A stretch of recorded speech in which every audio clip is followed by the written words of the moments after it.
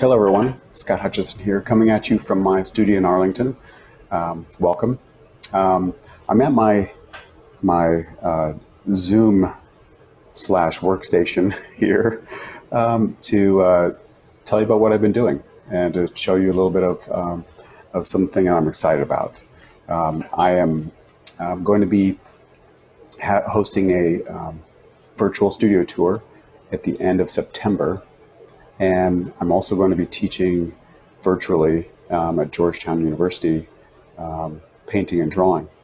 And so, what I've done the last couple days was uh, gather some of the tech I already had and um, got a little extra technology to, um, to start broadcasting, um, or at least um, amateur casting, I guess, putting cameras in my studio um, so that you can, so that I can um, teach some of my demos um, with multiple views of what I'm what I'm uh, working on, and also through my Open Studio session, I have a um, 360 view essentially of, of my studio.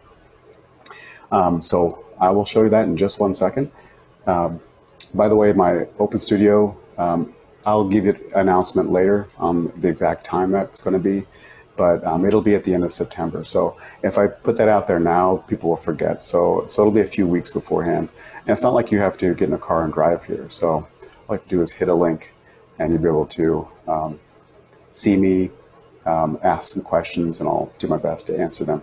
So I'll announce that uh, later. This is just sort of like a, a reference, a resource, um, sort of a, a, window on the the uh, the back end of this whole mess. Uh, you know, me trying to go virtual, um, studio as well as uh, teaching. So, what I'm going to hold up here is my tablet. It's just an Android tablet. Um, it's like a five-year-old tablet, and I've installed on it um, Team uh, Touch Portal. See, it says Touch Portal. This little app um, is going to be controlling all the cameras I have installed around the um, around the uh, studio. Um, so when you walk, so see me walk around, you're going to see me walking around with this. I'm going to be clicking on each camera um, as as I do that. Now, I'm actually recording this through Zoom, so I'm able to switch cameras here through Zoom. Um, Zoom doesn't have that as a native um, feature. What you need to use is OBS. Um, it's a it's a freeware program. Um, you can install it on Mac or PC. And that is actually the software that interfaces and directly connects to the cameras themselves. This is just a little plugin that connects to OBS that then you can control the cameras. Does that make sense?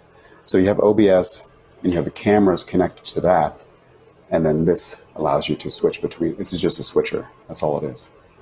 So um, my camera is actually let me show you here. This is my just regular Logitech webcam that I use for most of my Zoom meetings. So I'll go to my cell phone. This is a cell phone. Um, it's an old cell phone, so you see it's a little laggy. Um, it'll, it'll be my standby cell phone, but you see the program here, iVCam. Um, both of my cell phones that I'm using here um, have iVCam installed on them, and it turns your cell phone into a webcam. So this is one, um, one cam, and you can see my artwork here. The quality isn't the best, but um, it will do in a pinch for my open studios, I think, because I think my mic still comes through fine. Um, so I also have another camera set up right here. This is my cell phone, other cell phone. I'll go to that. And that goes to my back wall. This is where I was sitting, talking to you all in my chair. So that's my webcam anyway, this is my newer cell phone. It's a, it's a little less laggy, a little higher quality image. And these are all connected wirelessly. There's no wires here. I'm doing a test today to see how long that lasts. But you see this on tripod right there? That's my other camera. That is my DSLR camera. So it has interchangeable lens, much better. I actually have my microphone connected to my DSLR the whole time, and that's that's on. It's plugged into the wall it'll stay on for hours. So this is primarily the camera that I'll be using for, um, for my demonstrations and for most of my Studio Talk, I think. Um, once I light, you know, light up the setup, bring it in closer. Um, I'm going to do a real quick test. For example, let's let's get this guy. See how clear it will it will go. May take a little while to focus, if it's focusing at all. but that's something I can set manually. You know, once I'm ready, um, I can uh, set that up and close my canvas or my palette. Anyway, um, so back to the webcam as I walk toward it. Um, switching between on Zoom, very nice. Um, now I just wish that the cameras were all high quality, but that's not going to happen. Um, long term, if I were to, to do this, is that's what I would end up doing. Uh, but uh, this this is this was this is a game changer, I think, for me.